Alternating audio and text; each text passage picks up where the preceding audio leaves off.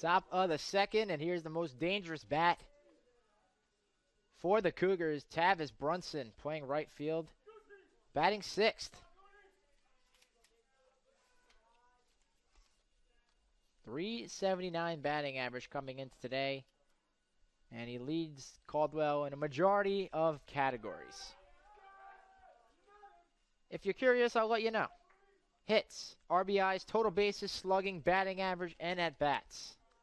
Leads the team in all five of those.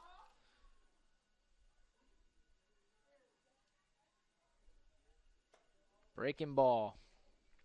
Count is even at one and one.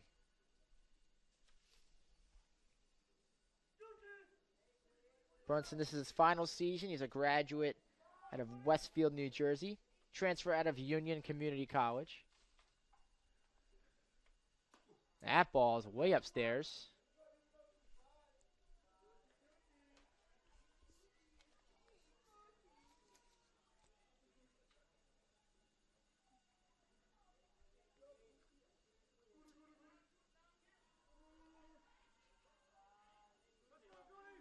Tavis gets out of the box. Takes his time. Now we'll resume play.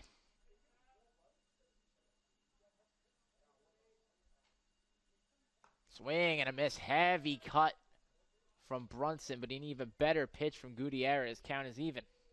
Two and two. Brunson has struck out eight times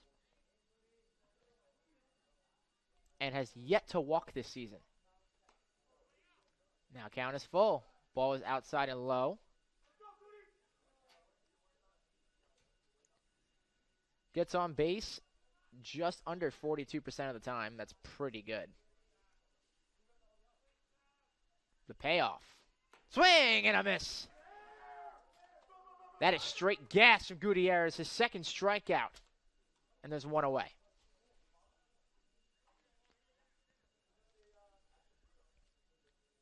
Next up, the third best hitter for the Cougars, Jalen March, playing center field today.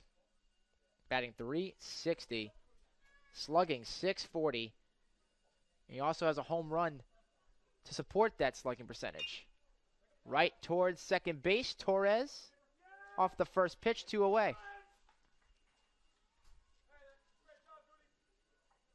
Good contact from March, but it was a hard Ground ball right towards Torres.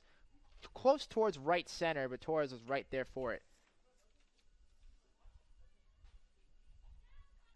Next up, Noah Puttney playing left field.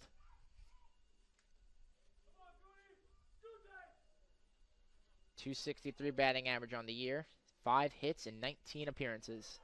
Looks at strike one.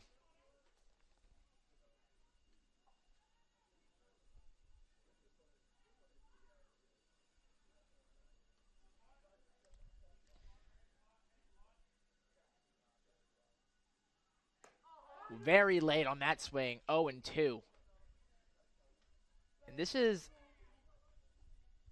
a very good thing for the Golden Falcons. And why I'm saying that, Caldwell really started off the year. Their offense was pretty consistent, averaging around six, seven runs a game. Strike three, looking, and that'll end the inning. Third strikeout for Gutierrez, and Puttney doesn't even get the bat off his shoulder. One, two, three inning, heading to the bottom of the second. It's 4 nothing Golden Falcons. You're watching Felician Baseball on the CACC Network.